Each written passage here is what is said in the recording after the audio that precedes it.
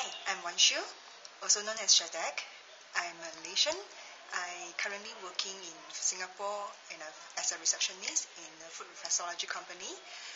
Um, a year and a half ago, a friend recommended me to this Awaken the Divine You program.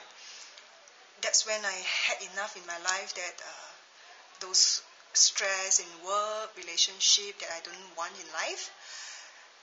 And I decided to give myself a try uh, on what awaken the divine you really means.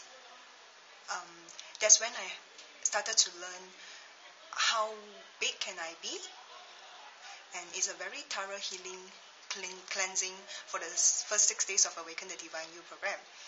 And then I go full all the way to commit myself to Nepal retreat, and that's where I found another part of me and I started to know more that we are not just a normal human being, so small, and I, we can do better in life in all areas.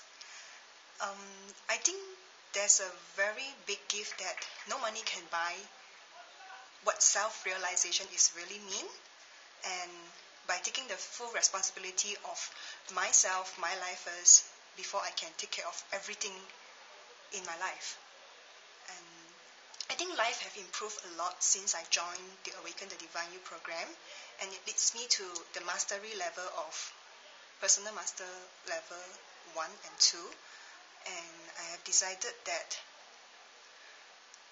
since I have come so far, why don't I go full force and see what I can contribute to the life, to Earth, and to the universe, because we are all part of it.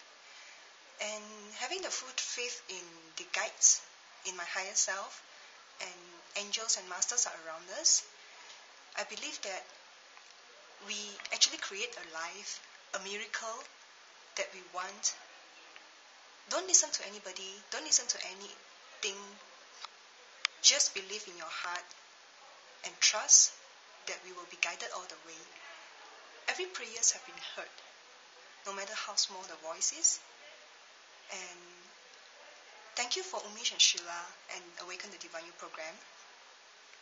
I have grown so much, and as far as I know and clear who I am, I would like to contribute more to humanity, to Earth, and to the whole universe. Thank you.